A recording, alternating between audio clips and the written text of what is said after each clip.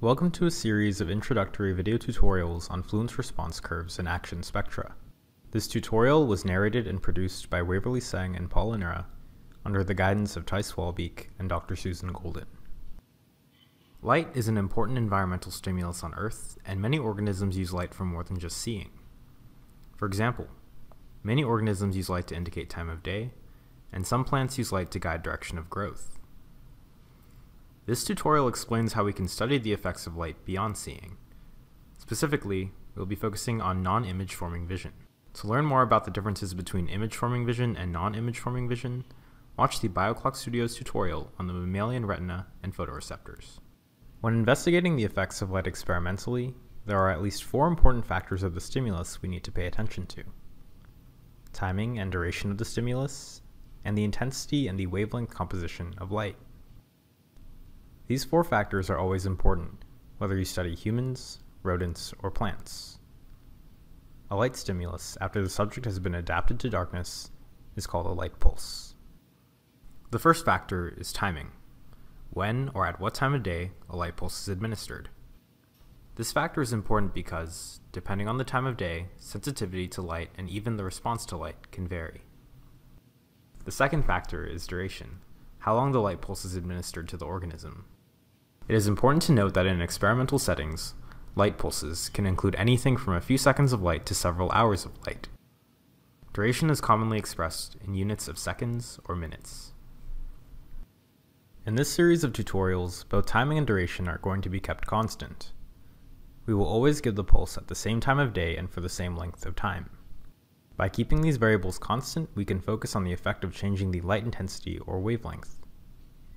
If you want to learn more about the effective timing of a light pulse, watch the BioClock Studios tutorial on phase response curves. The third factor is the intensity of light, the brightness of the light administered. Intensity is commonly expressed in units of photon flux, although light intensity is sometimes reported in other units. Photon flux is the number of photons of light measured in an area in a given time period. For pupil constriction studies, the units are usually photons per centimeter squared per second.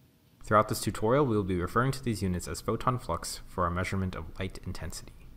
A light pulse can have large values of photon flux. For example, a moderately bright light pulse can have 10 billion photons per centimeter squared per second. Because these large numbers are hard to work with, typically they are converted to log. So instead of 10 billion photon flux, we can say 10 to the 10th power photon flux, which is the same as 10 log photon flux. If we increase the light intensity tenfold, the log would increase by 1. So 100 billion, or 10 to the 11th power, is the same as 11 log photon flux. The fourth factor is wavelength, which determines our visual perception of color. Wavelength is expressed in units of nanometers. In nature, the visual appearance of white or colored light is a result of a combination of different wavelengths of light. For now, we will discuss our experiments under the assumption that our light is monochromatic, which means it consists of only a single wavelength of light. You can see here that the visible light spectrum for humans extends from 380 nanometers, which is perceived as violet light, to 750 nanometers, which is perceived as red light. Biological photoreceptors, or light sensors, are more sensitive to some wavelengths than to others. An organism might not be affected equally by two light pulses of the same intensity, but with different wavelengths. We can see that there are many factors of a light pulse that can affect the response to light. For this series of tutorials, we are primarily interested in the effects of different wavelengths and intensities of light on that response. By systematically changing the wavelength or intensity while keeping all other factors constant, we can evaluate sensitivity for different wavelengths of light. So how do we test sensitivity for different wavelengths? In mammals, a common response to light is pupil constriction, which refers to the pupil closing in response to light shined on the eye. To measure this response, the diameter of the individual's pupil is measured during the administration of a light pulse. After the light is turned on, it takes the eye a few seconds to fully respond. When the pupil stabilizes, the diameter can be measured. The degree of constriction as a result of the light pulse is calculated from those measurements. After the light is turned off again, the pupil will rapidly revert back to its dark adapted state, which then allows for the next trial. Pupil constriction is often measured in percent.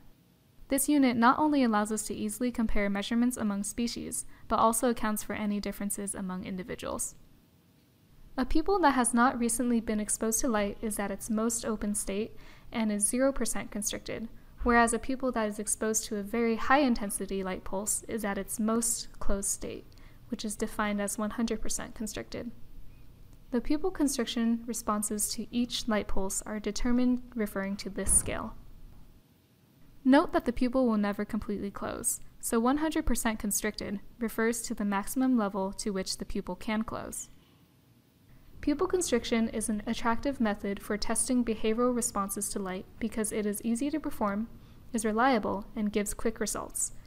Although we chose to talk about pupil constriction in this series of videos, there are other non-image forming responses to light that could also be used to test light sensitivity. Regardless of the response measured, these all show similar light sensitivity profiles. In this video, we introduced pupil constriction as a response to light which can be used to measure light sensitivity.